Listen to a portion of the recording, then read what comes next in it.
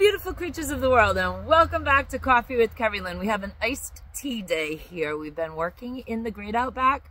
We are under the meditation and wellness tent area with no meditation and wellness tent because it's just not time yet.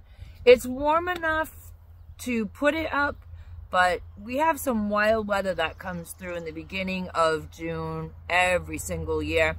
And uh, I don't really put my meditation and wellness tent up until we're just about ready to set the garden, which will be running around June 15th. It's just how it works up here in the far north of Maine, up along the Canadian border, in the crown of Maine.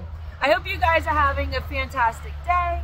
As you can see, it's a beautiful day here, up on the Canadian border. I've been working on the expansion to my herb garden. We expanded the, uh, we're outside. We don't have a controlled studio to begin with, so it really doesn't matter.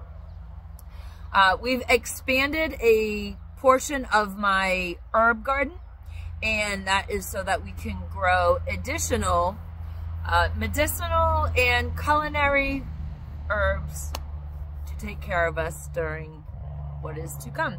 I know I wasn't on here yesterday. Breaking news, breaking news. Well, I was not breaking news. I have been off for a little while because I knew that um, yesterday was going to happen. I didn't know it was going to happen on yesterday, but I did know yesterday was going to happen with the breaking news. And um, I kind of took a little bit of time off of the um, the world happening talky talk because I'm a small channel. You don't really need my voice in the mix. That's just the way it is. I, I am a person who would rather put out some sort of solution than to scream from the rafters, breaking news, breaking news, and everybody did that. So I didn't need to be there to do that. But I knew after uh, what happened yesterday, because I knew it was going to be guilty. And I knew it was going to be all of it because that's just, um, it's just where my mind actually saw it. I knew after whenever the deliberation was over and the verdict was cast, I knew I was going to come back to uh, podcasting, podcasting. Ladies and gentlemen, beautiful creatures of the world, if you're joining me on Spotify, iHeartRadio, Amazon Music, YouTube Music, or Pandora, thank you for being with me today. I'm a variety show. I talk about anything that pops into my head, generally flies out my mouth, and we're both surprised by what I have to say. Uh, drop me in your playlist if you are on the audio only podcast circuit, and I will show up when I post. And if you want to listen to the show, listen to it. If not, just kick me out and join me a different day. If you're joining me on YouTube, you know I've been putting up some shorts. Subscribe to my channel. One like equals one FJB, ladies and gentlemen, beautiful creatures of the world. Thumbs up, thumbs down, doesn't matter. Any attention on YouTube is good attention. Comment in the comment section below on my other videos. We have had amazing conversations in the comment section. I've been off the video podcasting thing for about three weeks now because while I knew yesterday was going to happen eventually and I'd have to get back to business, I have been working on building my fiber slash podcast studio. It's a fiber studio that I've wanted for 10 years. I've saved for it for seven years. And a year and a half ago, I started podcasting. So we're going to have a little podcast area in my fiber studio where I will be podcasting from. I will no longer be relegated to podcasting and running my small fiber business out of a small corner of my kitchen. I will actually have a studio to podcast from in a few short weeks. I'm very excited. It's a lifetime project of mine, and that is where my energy has been, and my energy has been on prepping the gardening areas and expanding the herb garden and we are going to be setting stuff in very, very shortly. And, um, you know, it's just the way it is. It's the way of the world these days. Now, everybody saw the news yesterday, breaking news. And while y'all were watching the breaking news, I was doing something really cool. I am making dandelion oil so that I can make dandelion salve. It's a great medicinal, and I know the platform doesn't like me talking all about it, but we're gonna anyways. It's very simple. Uh, how I do it, there's two ways to do it. Very simple, both ways. You can just forage the heads of your dandelions, put them in your mason jar, fill it with your olive oil or oil of your choice because some people don't like olive oil, whatever. I use olive oil because I don't want seed oil in my body. I don't want it on my skin. So um, I use extra virgin olive oil, organic. It doesn't matter what brand you use as long as it's organic, as long as it's EVOO, extra virgin olive oil, EVOO. Fill your mason jar with your dandelion heads, the, the yellow part. Then cover them with olive oil. Put a coffee filter on the top and let it steep in the sunshine for two weeks. And then I move it uh, for another week and a half to two weeks in a dark closet. And um, then I make dandelion salve, which we'll, we will be getting to. I make about four or five batches of this uh, a, a season and I make dandelion salve, which is good for arthritis, especially in your hands. It's good for inflammation. It's just all around a wonderful um, salve to, to take care of the aches and pains of your joints. And we use a lot of this around here because my guy not only has um, rheumatoid arthritis, but he also has chronic Lyme disease. So he's always hurting and always aching and we like to fix him up. He's by trade, he works with his hands and it just loosens his um, joints up quite a bit throughout the um, cold winter months and into the summer months. So this is what we do. And I knit, so I love having and spin, spinning wool. It's fantastic for, you know, keeping the moisture in your hands to do all that. Ladies and gentlemen, beautiful creatures of the world, we are going to talk about yesterday a little bit while you guys were all focused on what was going on in New York City. While you guys were all focused on the breaking news everywhere, um, a thing happened that not a lot of channels are talking about, but we're going to talk about it here. The thing is, while all that was going on in New York City and while the verdict was being read and everybody was gasping in horror, in disbelief, and we live in a banana republic and all the pundits were on and all the YouTube channels were on. Eh, the big ones, the little ones, they were all talking about it. Breaking news. Well, we all knew it was going to happen because it had to happen. There was no other way that I could see it uh, trans transforming. Um, they have to do what they have to do because, ladies and gentlemen, beautiful creatures of the world, the economy sucks and there really is a war going on overseas, whether you guys want to believe it or not. I mean, some people are just so removed from reality. There's been a lot of talk about drafting in our country. There's been a lot of uh, look over here what this hand is doing because we're actually doing crap over here that you ain't gonna like. So if we entertain you, bread and circus, you know, if we entertain you over here, you won't be looking at what we're really doing over there.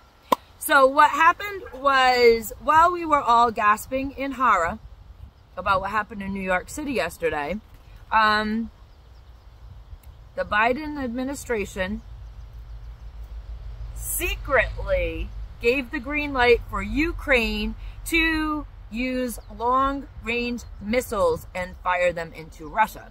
And of course, Russia, um, there was there was a uh, a report that kind of leaked out of Russia that Russia is thinking about using some sort of nuke in June. So here we go. What the Trump thing did was the guilty verdict. It drove the hysteria and buried some pretty hard stories and nobody is really talking about them. There's a few survival groups talking about it. There is a few um, prepper channels talking about it. There is very few homesteading channels talking about all the secret stuff that happened while everybody was aghast at what happened in New York City yesterday. So if you want to get some good coverage on it, go see Canadian Prepper. He's he's got a good one out. And um, full full spectrum survival did a thing on um, the secrets that uh, the secret doings that happened yesterday while the verdict was being read and information was leaking out and nobody caught it. So there you go. Ladies and gentlemen, beautiful creatures of the world, it is time It is time for you to get your shit in order. There's no other way to go about this. There's no other way to say it. There's a lot of people that um, they just don't have their shit in order. They think that, you know, gardening is not going to be important. They think that um, food storage is not going to be important. Not the people on my channel because y'all are smart and you've been listening to me talk to you about the five can challenge. We'll ramp that up to 10 cans, ladies and gentlemen, beautiful creatures of the world.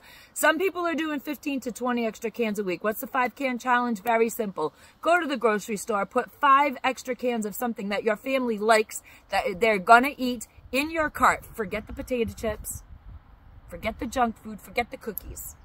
Put five cans of something wholesome in your grocery cart and put them in your pantry. Put them away for a rainy day, ladies and gentlemen, beautiful creatures of the world. We here on the homestead do not prep because of World War III. We prep because of natural disaster. We prep because we want to be able to get through any kind of hardship that comes our way on the homestead. We're self-employed work slows down. And work is going it's already started in our industry to slow down quite a bit. And um, there are very few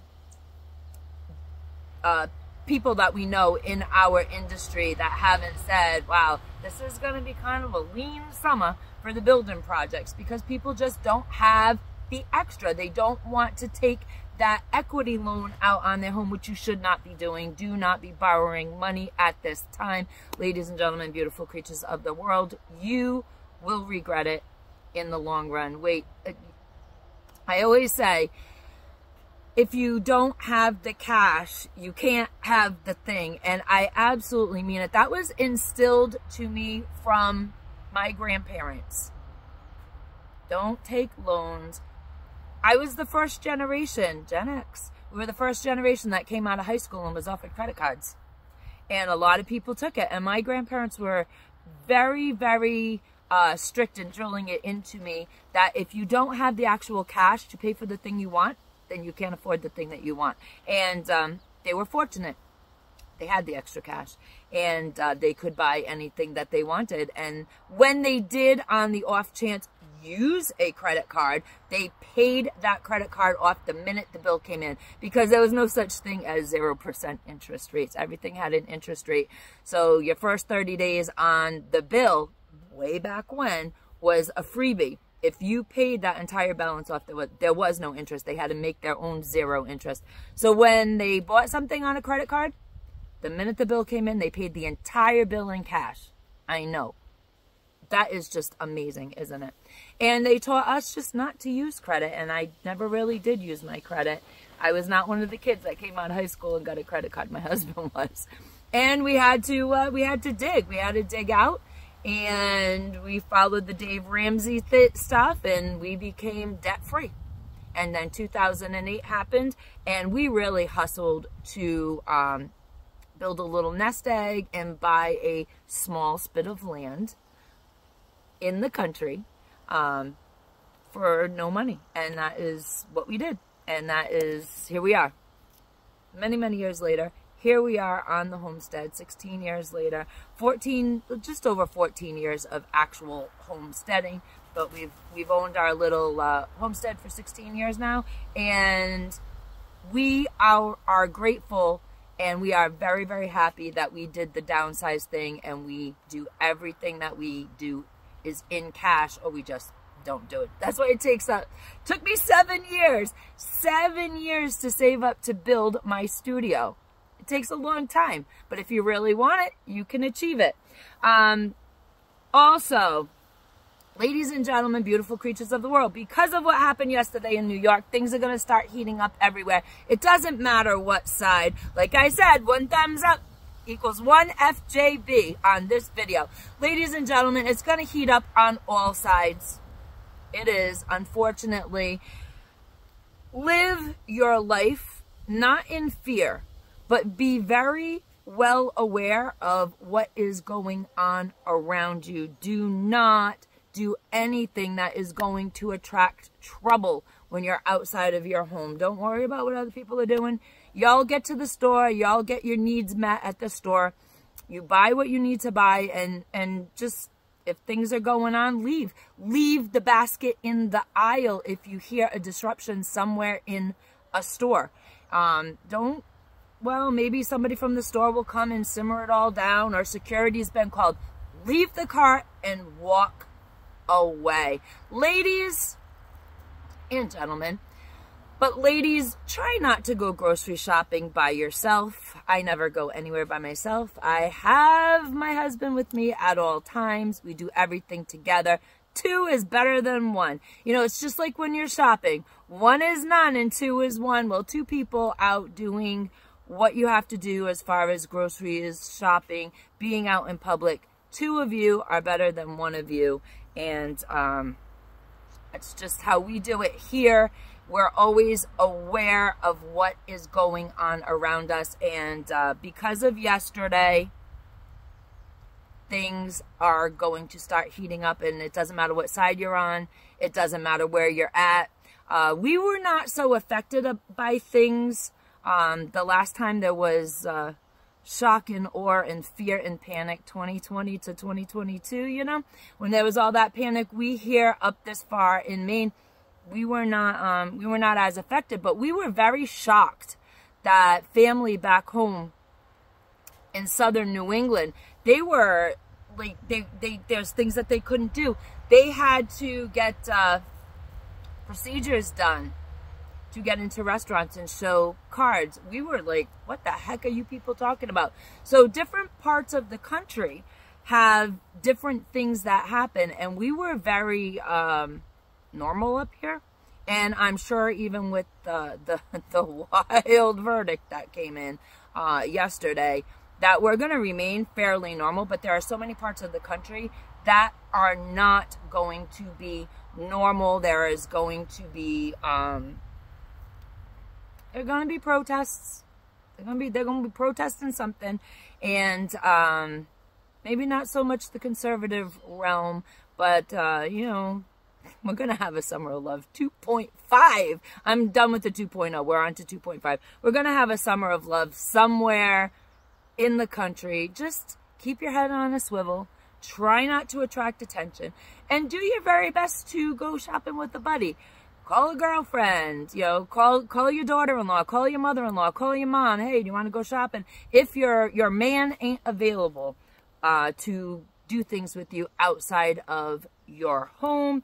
And always, always, always live with meaning, ladies and gentlemen, beautiful creatures of the world. Try to do things now that will enhance your future. It's just the little things. Whether it's putting a tomato plant in a bucket on your back porch, whether it's planting potatoes in a laundry basket, which we're getting to. I'm going to go pick up my uh, uh, seed potatoes today, which we're going to be getting to. Go to the Dollar Tree, grab yourself a laundry basket.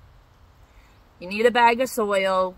I'm going to use store-bought soil. They have, um, I'll, I'll, I'll put it in the description. They have one at Walmart. It's organic soil that I actually really do like. So I'm going to use that just to prove to people that, um, you can you can do this in the city when you don't have access to your own uh, compost soil mixtures that you have on your property. And we're to plant seed potatoes in a laundry basket this weekend. So join me for that. I'll probably end up posting that on Monday or so because I've got a hot date with my man um, tomorrow we're going to be doing a thing. We're going to be out and about and doing a thing and socializing with some of our Amish friends tomorrow. So I will not be uh, doing any videos this weekend, no matter what news breaks. I'm not a fear channel here, so breaking news. Don't come here for breaking news. Come here for the solutions after the breaking news. Think about setting in a garden, even if you have only a little two by four area in your yard that you can garden in. My grandfather, and my grandparents lived through their whole lives were depression into World War II. And my grandfather always planted rows of a row of tomato plants along the back fence where they lived and um, in front of that he had uh, basil and in front of that, it was only a three row garden, ladies and gentlemen, beautiful creatures of the world. He had some lettuce and we kind of got to make salads and stuff growing up with his uh, green thumb. So ladies and gentlemen, beautiful creatures of the world, thank you for joining me today. And uh, remember, live life with meaning. Do for yourself today what you're going to need tomorrow. We're expanding the herb garden because medicinals are going to be hard to come by, especially when this shit overseas really starts to ramp up. These are the times we live in. They're very interesting times. We're part of history. And when you're part of history, everything you do, every little bit of your life is actually helping to write history. Uh, write meaning, you know, in the history books.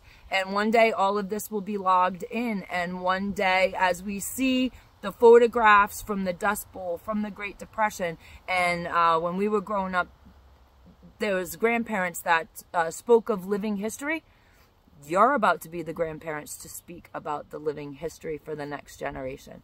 Ladies and gentlemen, beautiful creatures of the world, thank you for joining me. Remember, one thumbs up on this video equals one FJB. Carpe diem, beautiful creatures, because no one promised you a tomorrow.